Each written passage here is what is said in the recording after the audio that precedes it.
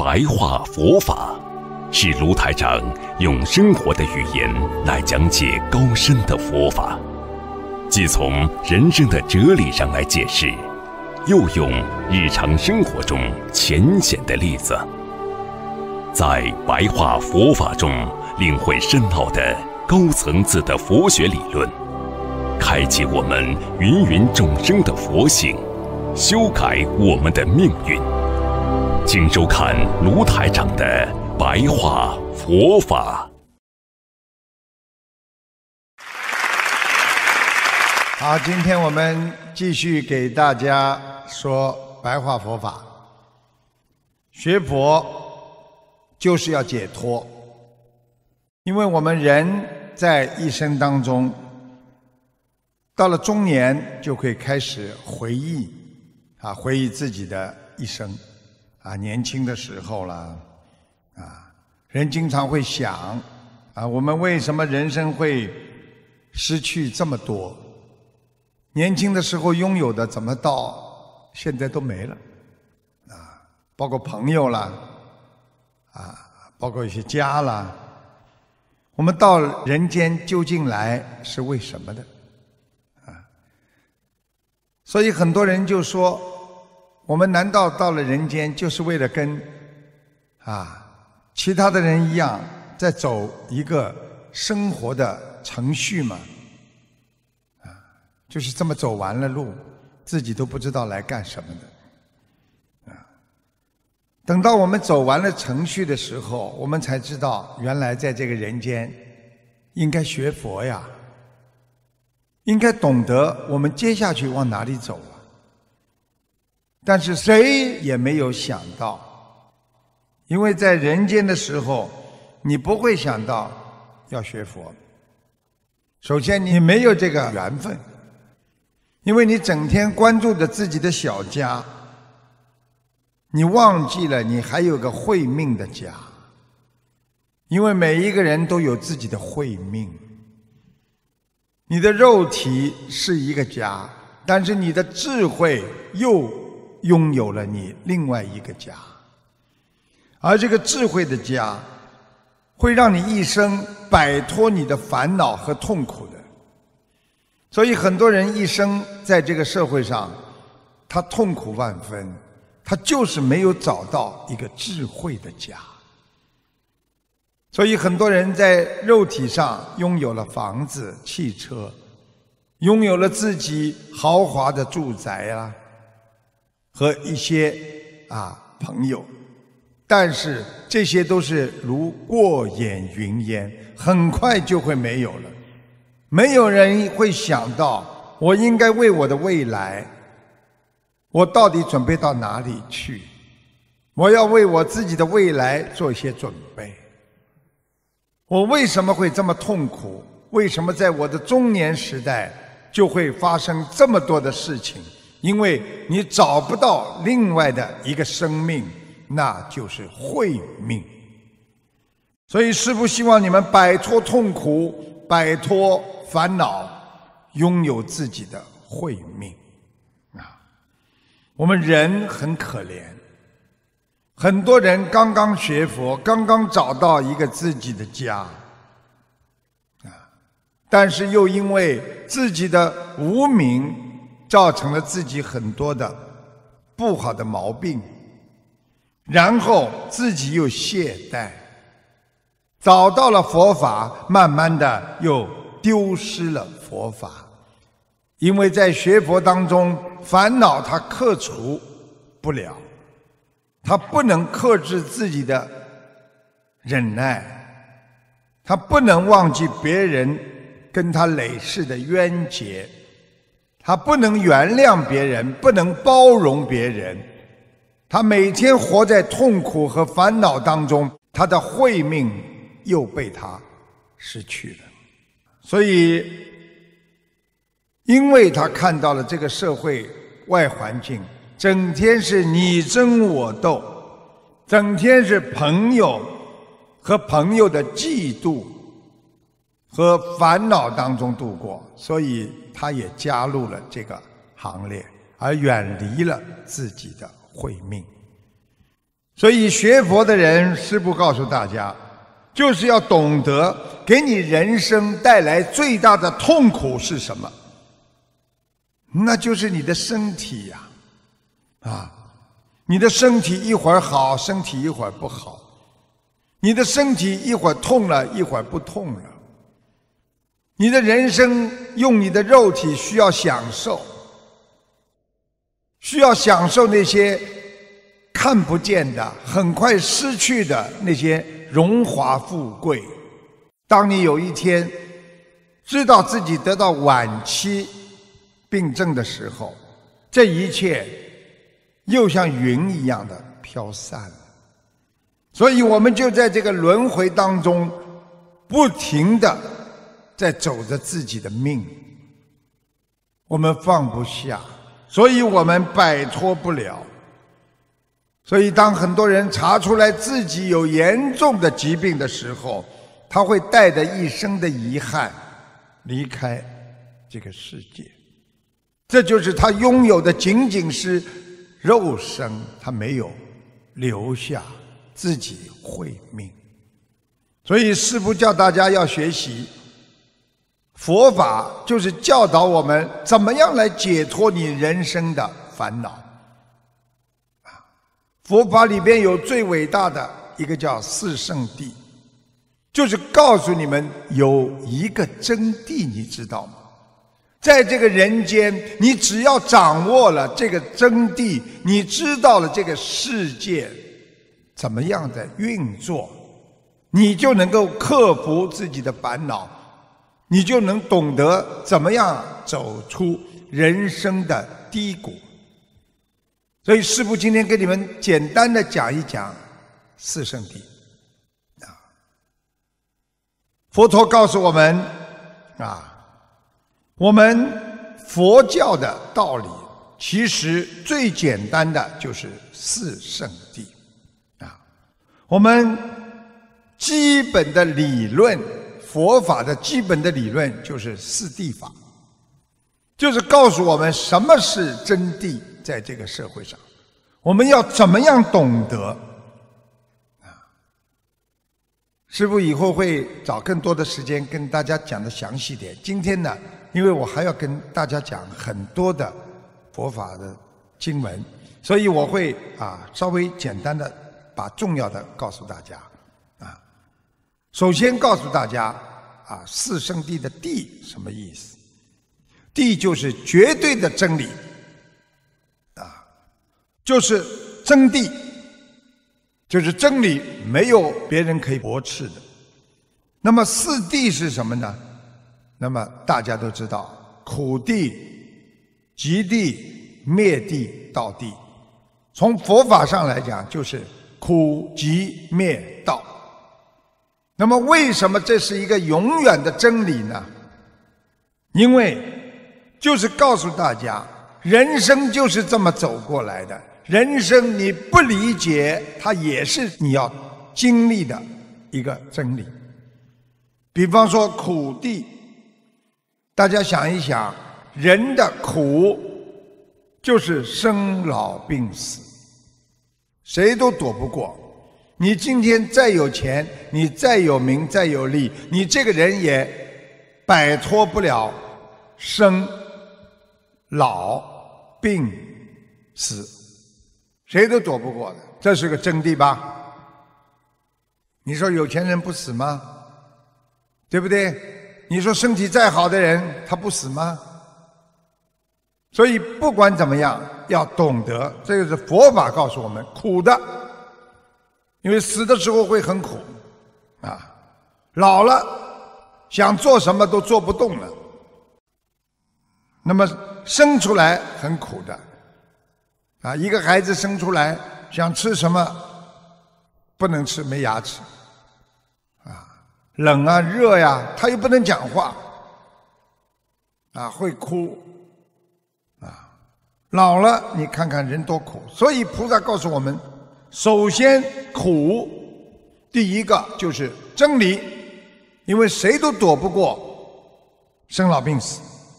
那么第二个讲的是极地，极地就是极苦难的因。你为什么会有苦难呢？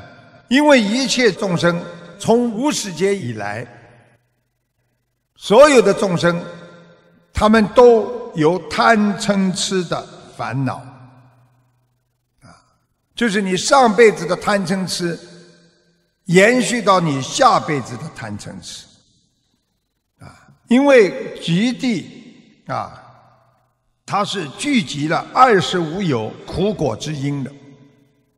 啊这个二十五有是什么？就是告诉你们，有着二十五种生死轮回的生命的形象，就是六道啦，啊，有没有啊？很多人都是从六道当中过来的嘛，有地狱了、恶鬼了、畜生了、阿修罗啊，啊，人道、天道了，啊，那么这是啊二十五当中应有的啊六道。那么天界里边呢，也拥有了包含欲界天的六天、色界天、无色界天，然后呢，涵盖的初果、二果、三果的圣者。实际上，菩萨告诉我们，这个世界这些东西都是有的，要你们懂得把它归纳起来，一共有二十五种，所以叫二十五有。也就是说，你再怎么转，你也转不出去。它是一个真谛，因为生死轮回就是在这里边轮来轮去。所以菩萨就是告诉我们，苦啊，集，就是因为有这个二十五的苦果的轮回，所以造成你的贪嗔痴累世越积越多。这些苦难才会招感你三界生死的苦果啊！就是告诉你们，这个集就是集苦难的因啊！为什么你们会苦啊？你们自己要找到原因的呀！啊，所以有些宗教谈到原罪论，就是人生出来就有罪的啊。所以我们佛法界讲。就是苦集灭道，集就是我们原来前世带来的那些因果，今世继续要接受它的果报和回报，善有善报，恶有恶报，上辈子没报完，这辈子继续报，啊，那么第三个就是灭地，灭地是什么？也就是告诉大家，我们人也好，物品也好，在这个世界上，它总归会有结束的一天，终有一天会灭。有生就有灭，啊，你讲的不是太好听一点。这地方着火了，它总归会灭掉的。你这个人再会打电话，喜欢讲很长很长的话，你记住了，你再怎么讲，他总归会有挂电话的时候的。他跟你讲一个小时，他也总归会挂电话的时候。那么人生也是，你生出来，你身体再好，你觉得你活得很好，你也有走的这一天的。我们买的房子再好，时间住的长了，你能几百年住下去吗？你终有一天要灭度吧。所以灭，实际上灭地就是菩萨告诉我们的涅槃。所以很多人以为涅槃就是没了、死了，实际上涅槃是一种解脱。当你理解了这个事情之后，当你知道人不会死的，你就解脱了。所以啊，这个灭地是属于生死相续的，因为佛教里边不称为人死了就灯灭了。因为人死了，完全知道自己以后到哪里去，不会真正的死，所以他会再投胎，或者他会到天道，或者到地府。所以这个生死相续，就是灭地，就是让人知道这个世界的真谛，就是你迷惑也好，你明白也好，最后迷惑了也会结束。你有智慧的、聪明不管你得到了什么，最后都会灭度。所以必须叫我们懂得，这个世界既然终有一天会结束，你的苦难或者结束你的快乐，那你为什么不能早点开悟，来远离你这个人间的烦恼，远离生死之苦呢？这就是第三个苦集灭。那么还有一个道字啊，道地。道地就是当你找到了这条路，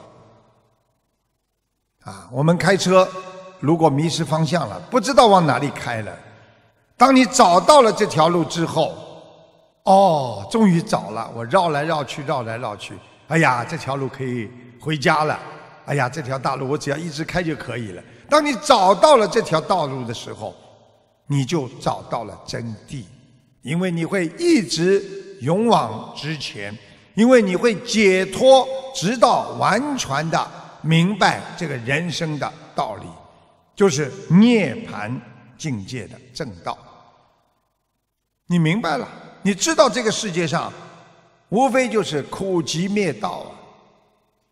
这就是佛教让我们懂得的高深的理论，让我们知道人不管你做什么事情，最后都是生死无常。最后，终归会有生老病死，一切都会灭度。所以在人间叫你们不要去跟别人争，不要去跟别人抢，因为这一切都会过去，就是灭地。这就是真理。所以我们学会在这个社会上，把自己的心要放平，把心态要放低一点。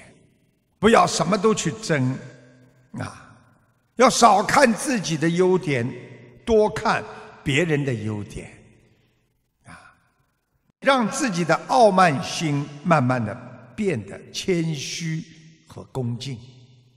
你去看，任何一个人恭敬别人，别人一定会恭敬你。当你对所有的人都很恭敬的时候，你所处的环境，自然你会感觉到非常的融洽，而这个融洽怎么来的？是你自己创造的。所以对别人的善，会引来别人对你的善；对别人的嫉妒、嗔恨，会引来别人对你的嫉妒和嗔恨。所以人与人之间，很多的矛盾。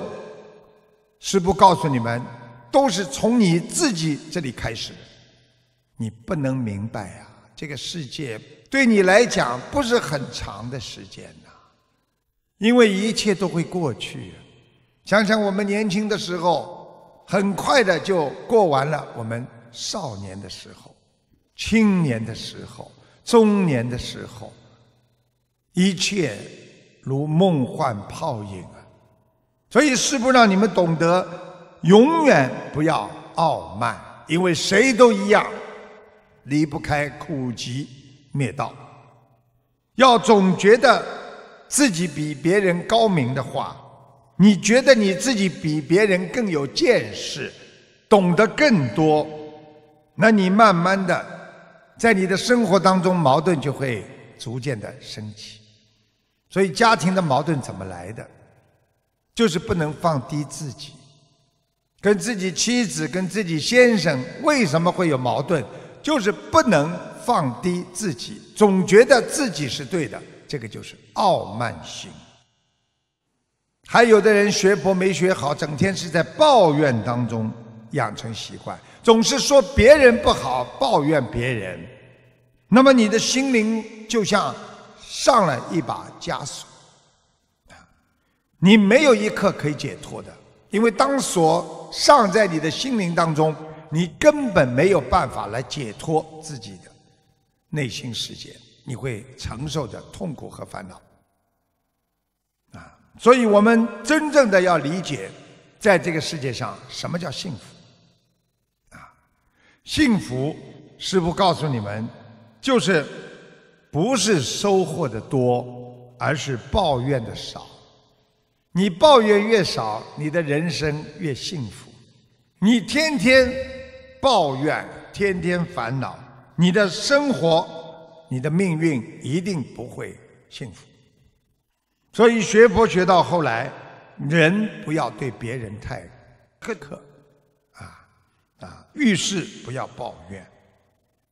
学佛之后，要懂得驾驭自己的情绪和心态。我知道我今天情绪不好，要学会驾驭它，你才能获得内心的平静！因为我们人在这个世界上，经常会听别人讲：“哦，佛法界讲的人生无常啊，啊是没有长久的。”你一听人生无常的，哎呦，这没意思哦。心中会常常闪过一丝丝的凄凉，哎呀，什么东西都不能长久啊，多难受啊！你好像觉得这个世界上的一切事物，它终归就会变坏了，一切努力都没有意思，你努力到最后，它也会变掉。那么然后呢，就觉得死了之后一无所有，啊，我的生命没有价值了。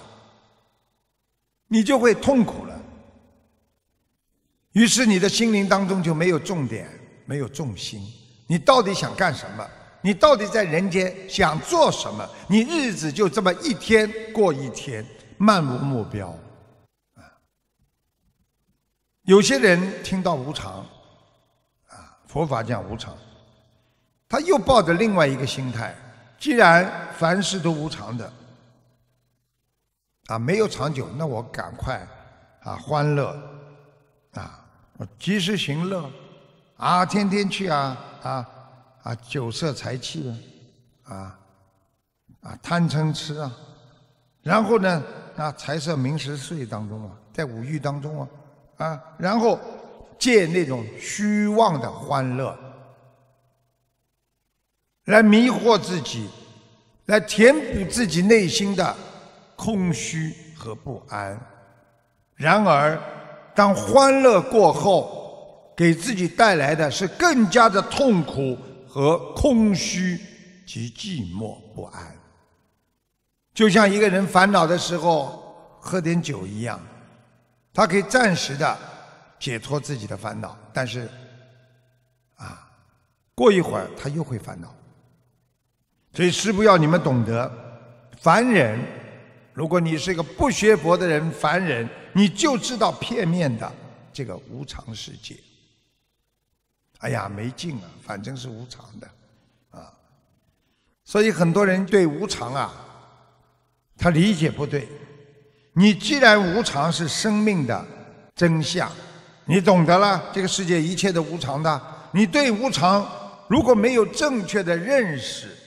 你就不会对生命寄予正确的期望，啊，所以你就会在你的心中与别人的现实接触当中，用理想主义和别人会产生很多的冲突。你，举个简单例子，别人说我要努力，努力什么？无常的，以后也没有了。其实你这种。就是在自我心里创造了一种啊无尽的烦恼的障碍，所以现实和理想就会有落差，你就会慢慢觉得生命，哎呀，为什么生我出来这么苦？所以很多孩子经常想，为什么爸爸妈妈生我出来让我吃苦？你就不会对生命有正常的认识。你就不会懂得什么叫圆满的生命的开始。